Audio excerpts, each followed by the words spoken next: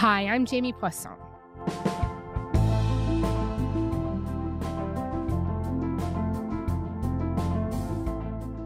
You may have been hearing some decently good news about the economy lately. Inflation is down, and technically, we haven't actually gotten the recession that everybody seemed to be predicting. At least, not yet. So, then why, for so many people, doesn't it feel like our economy is on the right track? If you ask some economists, they would probably tell you that our economy isn't growing fast enough. And a lot of them have been frantically pointing out this thing called productivity. I'm not really talking about how many things you cross off your to do list in the afternoon. I'm talking about how we use that word in economics to describe how many things of value Canada actually makes for all the hours that we're working. It's low.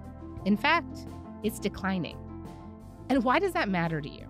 Well, those same economists would say it's the number one thing that decides what our standard of living is in this country because it's a big factor in how much we get paid and can even influence how much things cost.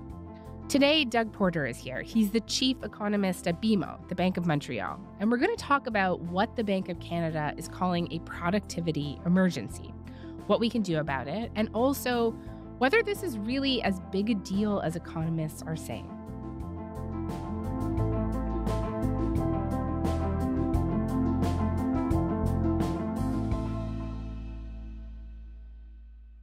Doug, hi. Thank you so much for coming on to Front Burner. It's a pleasure to have you. Well, thank you for having me, Jamie, and it's a pleasure to join you. So I'm I'm hoping that we can start by kind of de-jargoning the word productivity, or at least the way that we use it when we're talking about the economy. What does it actually measure? What is it? Well, actually, your introduction was was fairly good. It uh, it really laid out essentially what productivity is. It's the the value of goods and services that we produce divided by the number of hours we work. So it, uh, you know, in simple terms, it's uh, how productive we are as uh, as a society, as as an economy. Um, you know, an- another very roughened way to to think of productivity is it's it's basically the total amount of output, you know, sometimes known as GDP, hmm uh, divi- divided by the the total number of hours we worked. And and a really rough way to think of that is is income per person. You know, and and th- that's that's why it ultimately matters to an individual or for, for all of us is because productivity growth will ultimately determine how quickly our, our incomes can, can grow after inflation. And so if we're seeing next to no productivity growth, which is effectively what we've seen over the last five to six years on balance, is it's going to be really tough for people to see gains in income after inflation. Um, and that's that's essentially what we're experiencing. And and it's why economists regard it as as very important. And I, I would just drive home the point that it may sound like sort of this esoteric concept to worry about, but it, it matters to all of us because it does ultimately determine our, our standard of living, how quickly productivity is growing. And and when we're talking about what productivity actually is, like I'm I'm sure that there are people listening right now and they might be thinking to themselves like I work very hard. How could I work harder? But this isn't necessarily about people working harder, right? About people being lazy. Yeah, and, and to be clear, it's not say the number of hours you work. That's uh, you know, for instance, if we all work 35 hours a week and then decided to work 70 hours a week, our productivity would probably actually go down because it's uh, it's it's you know how much are we producing per hour that uh, that that we work. And and I would say it's it's not necessarily got anything to do or it, it it doesn't have anything to do with with how hard we work. That that's a small part of it, but really it's how smart we work, how efficiently we work, how how well organized we are as as as a team, as a group, as a, as an economy you know, are, are we doing things in the in the most efficient manner? And I'll, I'll, give you one, you know, one example. If, if if you think of a farmer, if if they plow a field by hand, or if they plow it with a you know a super sophisticated tractor, they're going to be a whole lot more uh, productive use, using that tractor. They're going to get a whole lot more done in the space of an hour. So some of it is, you know, do we have the machinery and the equipment to do our job? That that's a big part of determining how productive we are. It's not it's not how hard we're working. It's whether we're you know we have the tools to to, to do our job properly. Right. And I want to get into a bit more in a couple minutes about, you know, why we might not have all of those tools uh, specifically here. But just, you know, of course, you know, uh, well, I'm sure, uh, all about the speech that the deputy governor of the Bank of Canada gave in March where she called this an emergency in Canada. And I just wonder if you could put that into context for me. Like, just how bad is our productivity situation, uh, especially uh, versus similar countries? The, and this is, to be clear, this is not really a new issue for Canada. It, it is something that we've been struggling with. I would, I would argue, for the last 40 years or so, that this has been an issue that's come and gone. There, there was about a 10-year spell there where we had strong productivity in the late 90s and early 2000s, mostly when the internet was uh, more widely adopted. We did see good productivity growth, but aside from that, it's been challenging in Canada. But I will say it's been especially a challenge in recent years, and I think this is why you know, the Bank of Canada has gone so far as to actually call it an emergency. Essentially, eh, you know, normally our productivity grows by about 1% a year. It doesn't sound like a lot, but that definitely adds up over time. But in the last five, six years, it's it's almost stalled out. We've seen next to no growth. And meanwhile, in the US, they've they've managed to churn out productivity growth of almost 2% a year in the, in the last five years, which is closer to, to their long run average. I will say what's notable is the US has actually been a little bit of an outlier in the last year. In much of the rest of the industrialized world, they've seen challenges too on the productivity front more recently. And I do think, you know, the pandemic played a bit of a role here and the aftermath. We can point to all kinds of different factors as to why productivity would have been especially low in the in the wake of, of the pandemic. But we're we're not alone in, in seeing a relatively weak productivity performance. That doesn't doesn't make it any better. Uh, that's certainly the case. Why do you think that is the case? Like, uh, what is the U.S. doing that Canada and other industrialized countries haven't been doing? So one theme in the stock market in, in recent years is uh, has been the Magnificent Seven, the so-called Magnificent Seven in in the U.S. Essentially, all tech companies, and the the the very strong performance of those those particular stocks, I think, does play into one of the big advantages the U.S. has over much of the rest of the world, and that's a very large portion of their economy is driven by the tech sector, and that's the the sector of the economy that sees especially large productivity gains. You know, whether whether you're talking about Nvidia or or Microsoft or Apple, uh, th- those are those are the areas of the economy that typically see really strong productivity growth, and they are overrepresented in the in the tech sector to to their benefit. And I, I do think that's one of the reasons why the U.S. over time has tended to see stronger productivity growth than in Canada because they have a very large and thriving tech sector.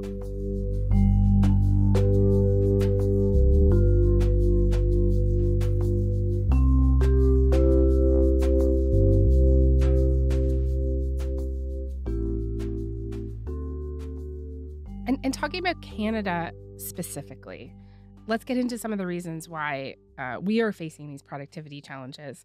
And I wonder if if it makes sense to start with a reason that I know you have written about, and you have argued that that some of it has to do with the very nature of Canada, like its geography, like some something that's kind of out of our control. And and why is that? Yeah, historically speaking, uh, look, we're we're in some ways we have a lot of advantages in in this country. Of course, with our natural resources, we have a very well educated, well trained uh, population, but we also have some inherent disadvantages. You know, we're relatively small population over a huge area, and we have some pretty intense winter. And you know, those things do throw a lot of sand in the gears, in in terms of you know, we we have to transport things over great distances, travel over long distances uh, you know, it can deal with some pretty harsh weather, which uh, which can tend to slow things down, ca- cause a lot of disruptions. Though those are you know some of the reasons why why Canada would be starting off with a, a lower level of, of productivity growth than uh, uh productivity than the U.S. But it doesn't really explain why the growth rate would be consistently lower. And there, I think we get more into some of the policy differences or you know the industrial structure differences and one of them is what i talked about earlier the fact we have a smaller tech sector but then you, you also have to look at things like business investment in this country or capital spending is is is lower, and and it's been very weak in in recent years, uh, and that to me is really the nub of the issue as as to why uh, productivity growth has slowed so much in in recent years and why we've been so much weaker than um, say an economy like the U.S. is because business investment has uh, has been quite a bit lower. And and why is that? Why do you think that is? Well, that that is, you know, not to use the cliche, but that is the $64,000 question. You know, what what could we do to really spur business investment? You know, and if there was a light switch that we could flip, we would have flipped it. You know, I think this is a very broad-based challenge. You know, to me, to me, it's that um, in in some ways, you know, are we as welcoming to uh, capital as as we could be? I, I I do wonder about that. You know, is is our tax system favorable uh, to to capital? Like, you know, even even if you look at marginal personal rates, they're they're relatively high, and and they kick at a uh, in at a, a relatively low level. In in in general, I would I would say that that's probably our our single biggest issue. The the other thing I've I've pointed out is there there is essentially a fixation on housing hmm in this uh, in this economy. Um, in some years, we actually spend more on residential investment than we do on business investment. And as far as I know, there is no other country in the world that uh, that sees that. Right. Like you're essentially saying that instead of, you know, taking money and investing it in a, a factory that produces, you know, widgets, right? Um, that then people buy, we're just, you know, trading houses around a lot. Is that is that like a fair way for me to describe it? Exactly. And and and by the way, the the one thing I do want to say is in manufacturing, we actually have pretty decent productivity. That's that's actually not where the the issue is. It's it's actually more of a whole economy. Uh, You know, I think oftentimes when people think about business investment or or productivity, they immediately think of of manufacturing. Our manufacturing productivity is not bad. It's actually the rest of the economy where we where we do uh, tend tend to lag behind a bit on on the U.S.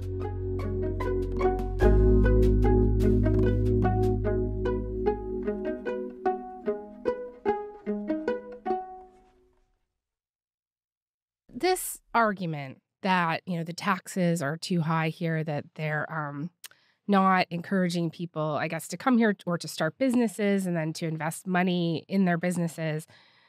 I I suppose the pushback to that is that, you know, the taxes are there to bring in revenue, to provide services that are, are, are crucial to help Canadians, including Canadians who are struggling, right? Dental care, child care. And and like are you saying that you think that the country would be better off if we taxed people and corporations less and what cut this kind of help? Oh, I'm I'm definitely not trying to say that that is uh, a silver bullet that is going to solve all our our productivity woes. You know, for instance, we did have uh, some pretty meaningful tax cuts in the in the late 1990s and, and early 2000s. As I said, we did get a bit of a productivity bump uh, for for a number of years, but then you know we were right back at it. You know, and and productivity uh, uh, deteriorated later on. So it's it's clearly not the the be all and end all solution. I think it's actually much broader than that. But but I do think tax, uh, you know, having a relatively favorable tax backdrop is uh, is important uh, to and to encourage and entice investment. To me, it's not an either or. I think you know basically it just behooves governments to uh, to spend money as as you know as efficiently as as possible. And, You know, definitely the public sector is is part of this story as as well. Um, you know, they have to deliver services in the in the most efficient manner that they can too. I do I do think that uh, that, that that's part of the broader story as well. Another issue that I, I saw the the Bank of Canada deputy governor bring up is that we're taking in skilled immigrants but not recognizing their degrees and training. And too often, these people wind up stuck in low wage, low productivity jobs. Doing better at matching jobs and workers is crucial to the future of Canada's economy. it was notable to me because this was like one of the first examples that she brought up when she was talking about why we're having these productivity problems and you know how how does that hurt our pr- productivity Yeah, in in general, I would say that if you've got a very well-educated population, which which we do, you want them basically working up to or close to their uh, as close to their potential as possible.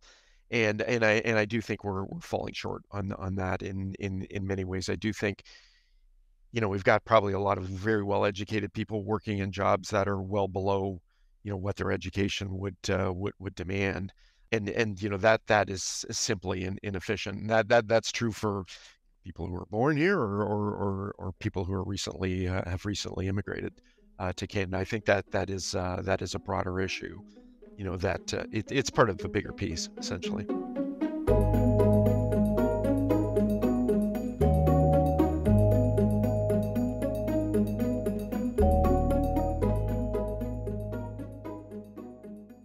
Another issue i hear people talking about a lot is like a lack of competition in the country in certain industries right phone companies groceries and and is that playing a factor here in our productivity problems I think you can generally say that if you've got a an economy that's content, you know, that isn't really competing hard, in general, that probably means that your productivity growth will will tend to uh, tend to be a bit lackluster. And I think there is a case to be made that we could certainly stand with a, a bit more competition in, uh, in in a variety of sectors. Another thing I would point out, and this you know this is a concern that many of many economists have pointed out over the years, is we we don't have free uh, interprovincial trade in in this country either. And I, I you know I think that that's uh, you know, as they say, shooting ourselves in the foot or a known goal that uh, we we could certainly do something to fix relatively uh, relatively easily. I would say. And wh- why why would that be important to to have interprovincial free trade? Uh, so there's different measures of uh, how much that could add to to the economy overall. Uh, it runs anywhere from one percent of GDP to seven percent of, of GDP. I would I would tend to be towards the lower end of of that range. But if you know, basically, if you allow free trade across provinces, it means that, you know, people can really and provinces can really concentrate on what they do best. Uh, you know, again, it would it would make uh, it would make us more efficient. You know, basically allow the economy to to operate closer to uh, to its capacity.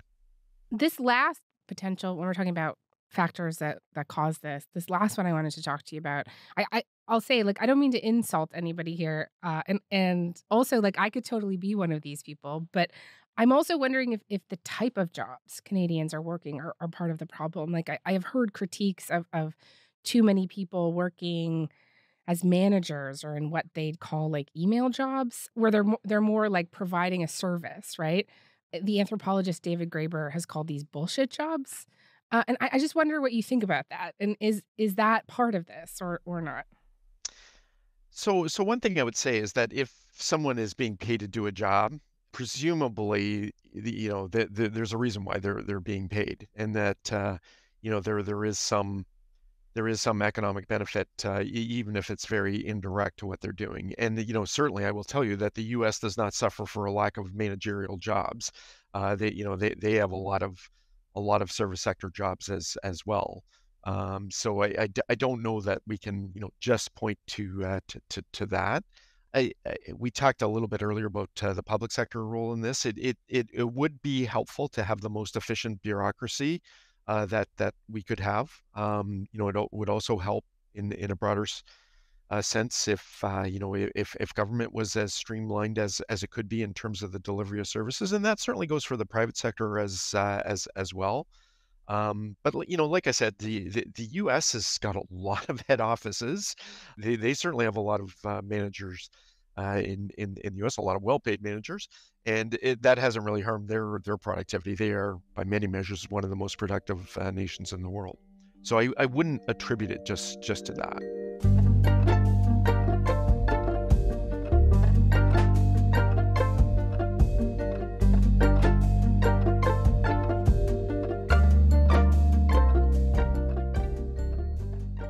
So we've talked today, you know, a lot about the importance of focusing on productivity, right? Um, and how it's so closely tied to our standards of living. But I, am just, I'm also wondering whether uh, there are limits, right, to prioritizing productivity, right? I, I think of Unifor's economist recently pointing out, you know, aren't there jobs that do great things for our quality of life, like in healthcare, but don't necessarily do anything to directly boost our productivity numbers?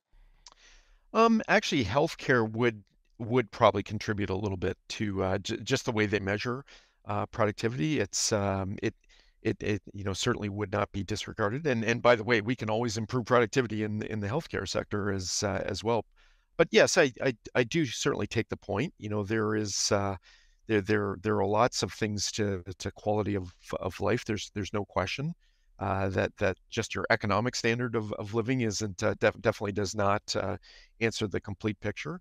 I guess all I'm saying is, um, you know, and one of the reasons why I think we should pay to, attention to productivity is we we we should not be complacent in in in this economy. We, you know, we do not want to see our our standards of uh, standard of living uh, stagnate over over a long period of uh, time. And and and I do I am concerned that you know if we look over the last 20 or 30 years, uh, relative to other major economies, Canada has taken a, a bit of a step back. And by the way, one thing we didn't get into is, you know, how how well measured is is productivity, and it, it is devilishly hard to uh, to measure precisely um, o- over over time. But I think it is fair to say that we we have slipped down the leagues over the years, and I think it definitely is worth paying attention to. And I'm in some ways I'm glad that the uh, the, the Bank of Canada did raise uh, the alarm on on this front because we we have seen a notable deterioration in recent years that I think is is well worth studying in greater depth. And just as a final question here, if we are complacent, right, and, and our productivity continues to decline, what does that look like in 5, 10, 15 years? Like, how could that materialize for people in their everyday lives? Well, I think in their their everyday lives, what they would find is it's it's really tough to to get ahead. It's tough for, you know, our our, our children to uh, to to to get ahead in in in a world where we're really not seeing uh, you know incomes per person rising. And and you know obviously in in even in that environment, some people would be would be getting ahead, but uh, you know if as an economy as a whole we're we're not improving, then that means other others would be taking a step back, and that uh, you know that can lead to real discontent and frustration. I think if you know if if you know the pie isn't growing over overall, it uh, you know it, it can lead to a lot of discontent and uh, you know even if you know other other areas are are, are, are doing relatively well if uh, if economically we're, we're not moving forward I, th- I think it can lead to, uh, to, to, to broader disappointment. All right. Um, doug porter thank you so much for this. This is really interesting and i learned a lot. Thank you so much for coming by. Oh my pleasure. Thanks for having me.